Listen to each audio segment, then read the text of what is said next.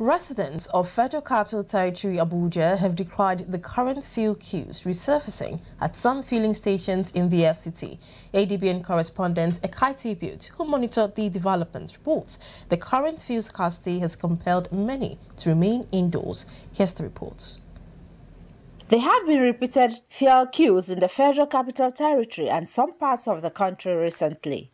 The most recent is the current long queues in most major filling stations, following the non-availability of the product. Some lucky stations with the products have decided to hike their pump price. This has compelled many to opt for the black marketers who have now taken advantage of the situation while cashing out. A litre at a filling station goes for 660 naira, while black market goes for 1,300 naira. This has prompted hike in transport fare in the FCT. For instance, commercial drivers used to charge 200 naira from AYA to Nyanya now charge 400 naira, while Kubwa to AYA, which was 800 naira, now goes for 1000 naira.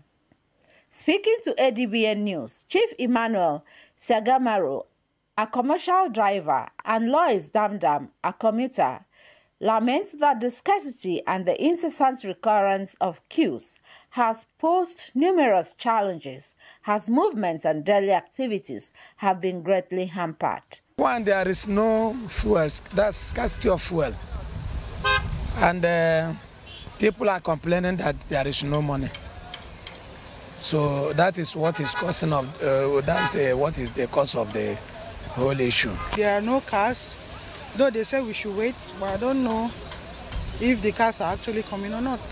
Mr. Ode Raymond and Sunday Samuel, who bore their minds on the issue, attributes the long queues to panic buying following the planned protest on economic hardship.